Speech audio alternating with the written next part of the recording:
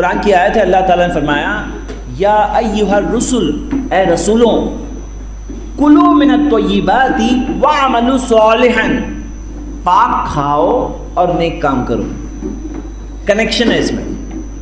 تو یہ بات پاک کھاؤ اور نیک کام کرو۔ پاک کھاؤں گے تو نیک کام کرنا سوجے گا۔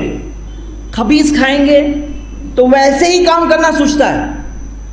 پاک کھاؤ، کلو منت من الطیبات وعملوا صالحا اور نیک کام کرو۔ مطلب جو ہم کھاتے ہیں نا غذا، اس کا ہمارے عمل پہ بھی اثر پڑتا ہے۔ ہم کیا عمل کر رہے ہیں، اس پر اثر پڑتا ہے۔ آج ہم جو دیکھ رہے ہیں، اتنی ساری برائیاں عام ہیں نا مسلمانوں میں۔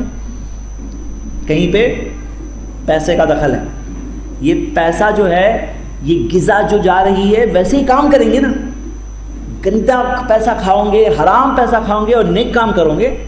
نہیں، جو کھاتے ہیں، وہی تھاٹس آنے لگتے ہیں۔ دیکھیے، یہ چیزیں ہیں، یہ غیب کی بات ہے۔ لیکن ہمارا ایمان ہے ان چیزوں پر۔ اور کلو منت تو یہ بات ہی وام الصالحن پاک کھاؤ، نیک کام کرو۔